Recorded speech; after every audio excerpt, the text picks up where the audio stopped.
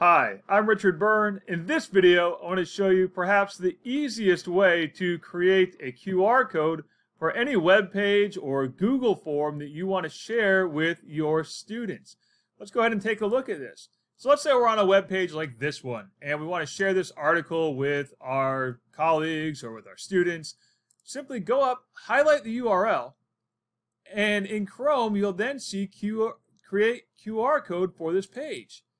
Click that option and you've got a QR code that you can then download and you'll have that as a PNG file on your computer. Now, the same thing can be done with Google Forms. So here I have my Google Form help resources for Mr. Byrne's class.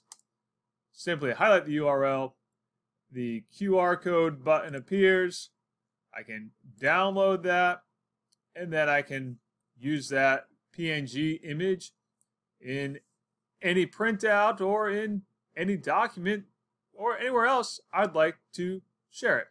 So that's a really easy way to create QR codes for Google Forms or any other web page you want to share with your students or colleagues. As always, for more tips and tricks like this, please check out freetech4teachers.com or subscribe to my YouTube channel.